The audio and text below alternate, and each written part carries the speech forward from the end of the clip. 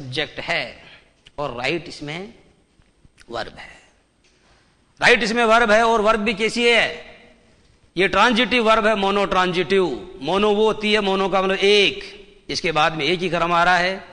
तो ये mono transitive verb अर्थात ये जो है, ये ट्रांजिटिव वर्ब हो गई और इसके ठीक बाद में आ रहा है ए लेटर ये क्या का जवाब है? ये ऑब्जेक्ट है। ये बात तो मैं आपको पहले समझा चुका हूँ। नई बात क्या बताने जा रहा हूँ वो ये है कि अगर आपसे प्रश्न पूछा जाए, अगर आपसे प्रश्न पूछा जाए कि आई राइट ए लेटर इसमें ए लेटर कौन सा ऑब्जेक्ट है?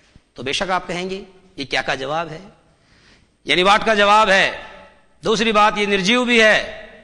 तो इसका मतलब ये जो ऑब्जेक्ट हुआ, ये पक्का डायरेक्ट ऑब्जेक्ट हुआ। यहाँ कोई समस्या नहीं है, परंतु दूसरी समस्या एक है। देखना आप। आई टीच यू गौर से देखना। आई टीच यू यानी मैं तुम्हें पढ़ाता हूँ। आई सब्जेक्ट हो गया टीच वर्ब हो गई। और यू इसमें ऑब्जेक्ट हो गया। प्रश्न यह है कि यू कौन सा ऑब्जेक्ट है?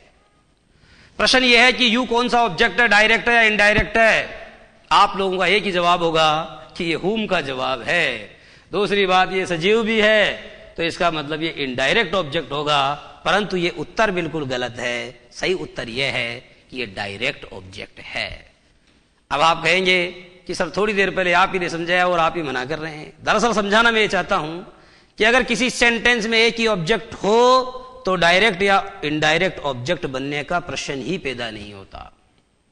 अगर किसी सेंटेंस में एक ही ऑब्जेक्ट हो तो उसके डायरेक्ट या इनडायरेक्ट होने का प्रश्न ही पैदा नहीं होता। निर्विवाद रूप से वो डायरेक्ट ऑब्जेक्ट ही होता है, चाहे वो सजीव हो या निर्जीव। ये लिखने लायक बात है। आप इसको एक नीचे अपने जो नोटबुक है उसमें एक लाइन छोड़ के स्टार डालो और लिखो, अगर किसी वाक्य में एक ही